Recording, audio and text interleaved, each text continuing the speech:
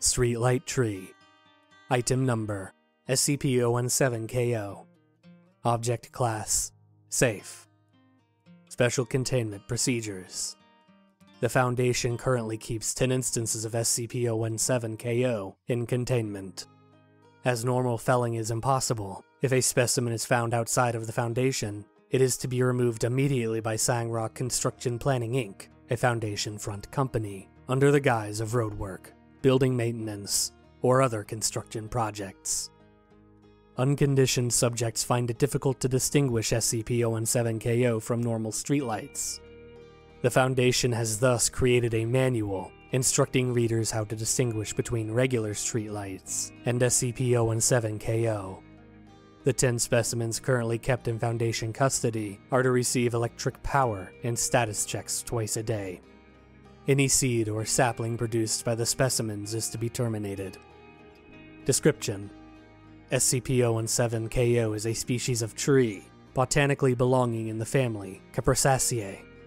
Smaller specimens generally measure around 3 meters, but can grow to as much as 12 meters at their tallest, with even greater heights being possible under the right conditions.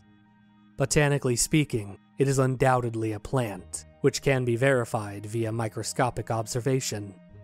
Despite this, instances appear surprisingly similar to standard streetlights. Mostly, the tree grows upright with hollow trunks. The xylem resembles electric wiring, and the tree absorbs electricity by way of its root system through these xylems. The treetop holds a translucent, bioluminescent organ which emits light at low luminous intensity under 3 to 4 lux in order to attract insects.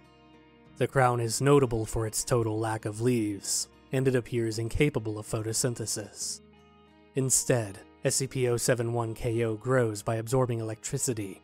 CO and NON, mainly from vehicular exhaust, serves to boost the growth of SCP-071-KO. Being facultative insectivores, consuming insects also aid in the absorption of nutrients.